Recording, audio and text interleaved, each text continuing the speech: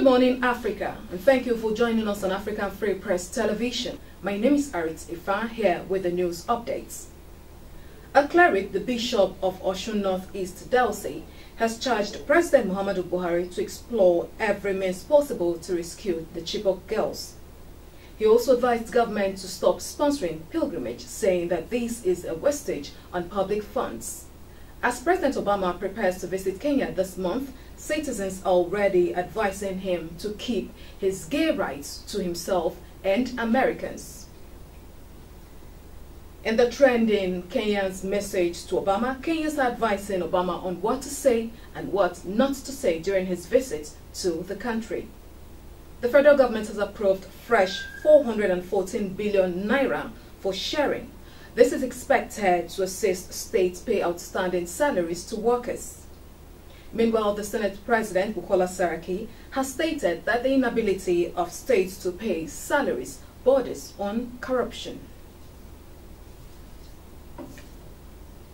Residents of Borno State have asked the federal government to apply caution in her rush to negotiate with Boko Haram as a means of ending their attacks within the northeast region.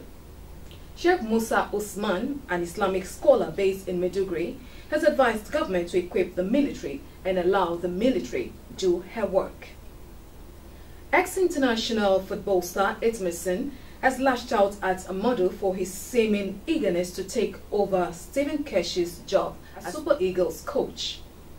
Esin said Keshi's sack is caused by betrayal concepts and cabals who wanted him out of the system.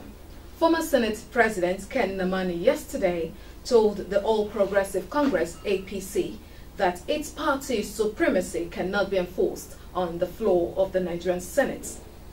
Speaking at the presentation of a book, Nnamani said crisis rocking the National Assembly is based on the fact that the APC lacks an understanding of party supremacy.